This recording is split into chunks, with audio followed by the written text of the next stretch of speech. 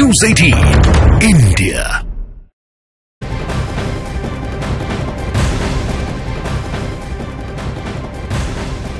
और एक बड़ी खबर आपको बता दें, प्रधानमंत्री नरेंद्र मोदी आज रेलवे को बड़ी सौगात देंगे। पीएम मोदी आज इकतालीस हज़ार करोड़ रुपए की 2000 से अधिक रेल परियोजनाओं का शिलान्यास और उद्घाटन करेंगे। पीएम अमृत भारत स्टेशन योजना के तहत पाँच रेलवे स्टेशनों के पुनर्विकास की आधारशिला रखेंगे। इसके अलावा प्रधानमंत्री उत्तर प्रदेश में गोमती नगर स्टेशन का भी उद्घाटन करेंगे। प्रधानमंत्री 1500 रोड ओवरब्रिज और अंडरपास का शिलान्यास, उद्घाटन और राष्ट्र को समर्पित करेंगे।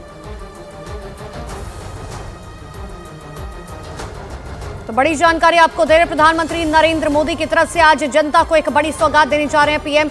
पाँच रेलवे स्टेशनों के पुनर्विकास की आधारशिला उनकी तरफ़ से रखी जाएगी। यूपी के गोमती नगर स्टेशन का उद्घाटन भी पीएम करेंगे। 1500 ब्रिज और अंडरपास का शिलान्यास और उद्घाटन पीएम की तरफ़ से किया जाएगा। इकतालीस हज़ार करोड़ रुपए की रेल परियोजनाओं की सौगात रखेंगे।